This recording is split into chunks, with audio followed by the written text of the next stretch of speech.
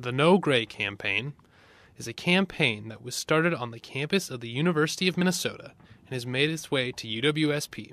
The No Gray campaign is all about educating the student body, faculty, staff, and even alumni about how there is no gray area when it comes to sexual assault, rape, consent, sex, and everything that falls under that umbrella.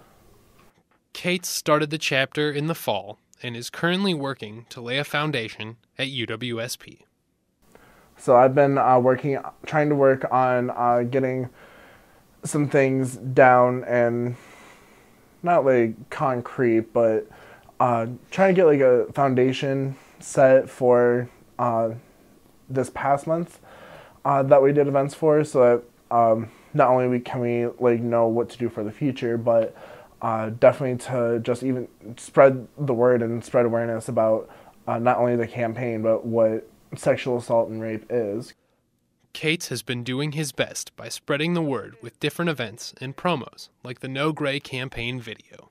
Uh, I again asked the student body, and we even got the vice chancellor uh, in on it too, to um, just create a promotional video, uh, for lack of a better phrase, on uh, how there really is no gray area when it comes to sexual assault and rape. This campaign is something that hits close to home with Cates, as he was sexually assaulted in the past.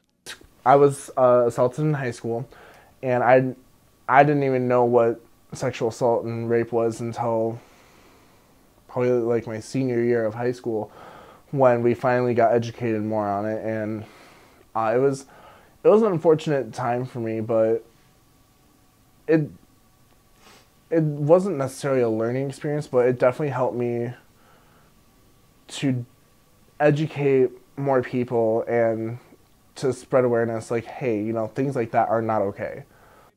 Cates stressed the importance of support when it comes to sexual assault. Your friends will always be there for you, your family will always be there for you. You're not alone. For SPTV, I'm Noble Rundman.